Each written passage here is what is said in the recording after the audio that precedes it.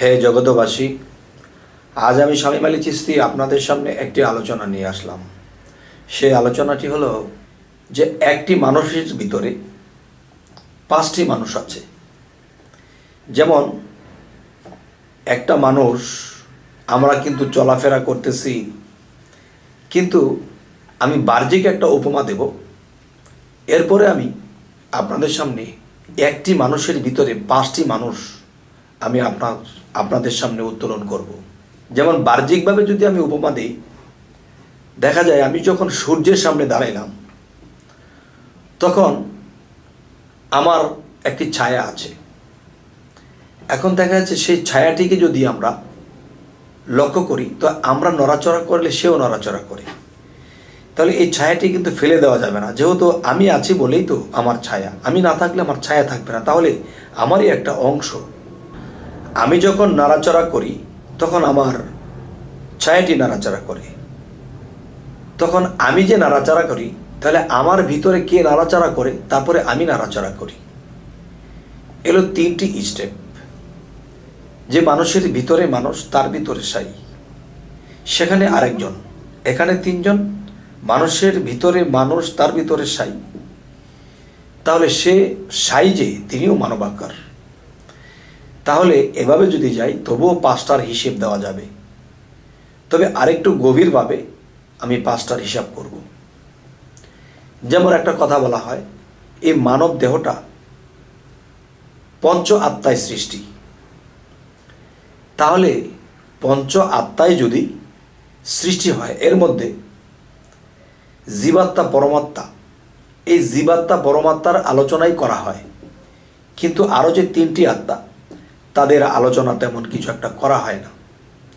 তাই আমি বলব যে মানব দেহের মধ্যে পঞ্চ আত্মা। যেমন এই নামগুলো আরবিতেও আছে, এই নামগুলো সাংস্কৃতিক ভাষাতেও আছে। তবে বাংলার পাশাপাশি সাংস্কৃতিক ভাষায় বলা হয় জীবাত্মা পরমাত্মা, আত্মা রাম, আত্মা রামেশ্বর এবং বুধ আত্মা এই পাঁচটি আত্মা, এই পাঁচটি আত্মা মানব দেহের মধ্যে আছে। তাহলে এই পাঁচটি আত্মার কর্ম, এরপরে এদের খাদ্য, এদের স্বভাব, সমস্ত কিছু আলাদা। সমস্ত কিছু যদি আলাদা হয়, তাহলে এই পঞ্চ আত্মার পাঁচ রকম গুণ, পাঁচ রকম তার কালার এবং পাঁচ রকম রং। কিন্তু যদি স্রোতের মধ্যে যাই, যে একই স্রোত, যেমন আমি ছায়ার দিকে যদি লক্ষ্য করি, ছায়ার কিন্তু একটা আকৃতি আছে, আর সেই আকৃতিটা আমারই মতো। তো ছায়ার আকৃতি যদি আমারই মতো হয়, তাহলে আমার ভিতরে আরও একটি মানুষ, সে কিন্তু এই আকারই তবে আরও যে দুটি আত্মা, সেটিও এই একই আকারে। এখন আজকের যে বিষয়, এই পাঁচটি আত্মার মধ্যে কোন আত্মাকে দেখলে আমার দোজো খারাপ হয়ে যাবে? সেই পাঁচটি আত্মার মধ্যে একটি আত্মাকে দেখলে যদি দোজো খারাপ হয় এবং সেই আত্মার সাথে রাসুল মিশে রয়। তবে রাসুল মিশে রয় কোন আত্মার সাথে? পরমাত্মার সাথে। আর সে পরমাত্মা যদি কেউ দেখে, তাহলে তার জন্য সমস্ত দুজক হারাম হয়ে যাবে। তাহলে পরমাত্মার স্রোত বিভিন্ন রূপে আছেন তিনি এবং এই পরমাত্মা মানব স্রোতের বাহিরেও তার রূপ আছে, কিন্তু সেই রূপে গেলাম না। আমরা যে রূপে চিনব, সেই রূপে যাব। যে পঞ্চ আত্মারটাই হলো মানবাকার। এখন মানব আকার যদি হয়, আমারই মতন পাঁচজন যদি সামনে হাজির হয়, এর মধ্যে এই পাঁচজনের মধ্যে আমি কি দিয়ে চিনব, কি করে চিনব যে এই আত্মাটি পরমাত্মা? যখন মানুষে আত্মসাধনা করে, আত্মসাধনা করার পরে তখন দেখা যায় এই পঞ্চ আত্মাকেই দেখতে পায়? তবে পঞ্চ আত্মার ভিতরে কোন আত্মাটিকে দেখলে, তাকে মানলে, তাকে সালাম শ্রদ্ধা করলে, তাকে ভক্তি করলে, আমার এই আত্মা বাকি আত্মাগুলো মুক্তি পাবে?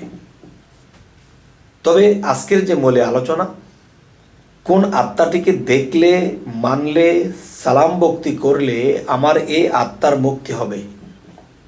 দোজক হারাম হয়ে যাবে। সে আত্মাটি পরম আত্মা। এবং সে আত্মাকে কি দেখে চিনব? এই পাঁচটি একই রকম দেখতে।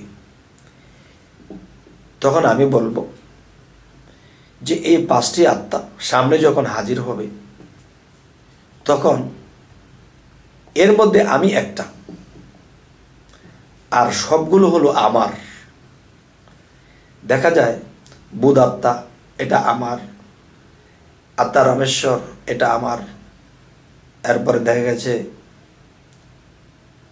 পরমাত্মা, এটা আমার। তাহলে আমি কোনটা? এর মধ্যে জীবাত্মা যেটা, সেটা হলো আমি। তো আমি যদি জীবাত্মা হই পাঁচটার মধ্যে একটি আমি, আর তারা আমার। তো আমি আর আমার কিন্তু অনেক তফাত কথা।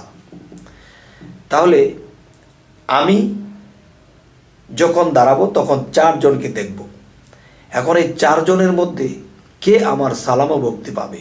যার সাথে রাসুল মিশে আছে, যার সাথে স্রষ্টা মিশে আছে। আচ্ছা দেখা যায় মাটির একটা কালার, হলুদ, যেমন আরেকটি বাসায় বলা হয় সিয়া সবেদ লাল জর্দা। সিয়া সবেদ লাল জর্দা। এই চার রঙে দুনিয়া বাঁধা। এই চারটি রঙে যদি দুনিয়া বাঁধা হয়ে থাকে, তাহলে আমার পরমাত্মাকে চিনে নেব কীভাবে একই রকম দেখতে কালারে ব্যতিক্রম। হে জগতবাসী আমি অগ্রিমটা বলব না, তবে সাধনার মাধ্যমে যখন যাওয়া হবে তখন মুর্শিদ এই শিক্ষাটা দিয়ে দেবে। তারপর আমি ইঙ্গিত করব, তার কালারটি বিজলি আকার হবে। আর অন্যগুলার এ আকার দেখা যাবে না, এ আলো দেখা যাবে না। তার আকারটা, তার কালারটা কি হবে? বিজলি আকার। তো যদি কেউ ভক্তি করতে পারে, সেজদা করতে পারে সেটা চিনে করতে হবে। না চিনে করলে হবে না। হে জগতবাসী তাই একটি কথা বলা হয়েছে যে, মান আরাফা নাফসাহু, নিজের নাফসটাকে চিনতে হবে, নিজের বডিটাকে চিনতে হবে। আমি কি? আমার পরিচয় কি? তখন আমি যদি আমাকে চিনি, তখন আমি এদেরকেও চিনে নেব। তাই বলা হয়েছে, মান আরাফা নাফসাহু, ফকাদ আরা রাব্বাহু। যে আমি যদি আমাকে চিনতে পারি, তাহলে আমি আমার রবকে চিনতে পারব। তো আজকের বিস্তারিত আলাপ, যাই কিছু করা হলো, হয়তো সামনের ভিডিওতে আমি আরও একটু ক্লিয়ার করার চেষ্টা করব। তবে আমাদের এই চ্যানেলের আলোচনা যদি আপনাদের ভালো লাগে, তো অবশ্যই সাবস্ক্রাইব করুন এবং পরবর্তীতে আমাদের ভিডিওগুলো আপনারা পেয়ে যাবেন। তো আজ এই বলেই রাখব। আল্লাহ হাফিজ।